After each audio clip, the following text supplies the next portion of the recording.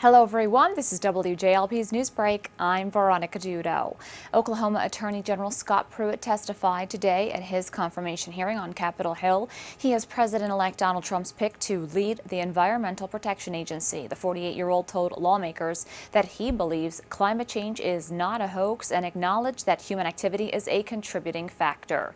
An Ocean County jury has convicted 23-year-old Michael Gibson for a 2015 attempted robbery at a TD Bank in Brick. The convictions carry a maximum possible prison term of 25 years. Gibson will remain in the Ocean County Jail without bail until his November sentencing. Government scientists say 2016 was Earth's hottest year on record. Federal scientists mostly blame man-made global warming along with a natural El Nino for the global temperature rise. For more on these stories, visit app.com.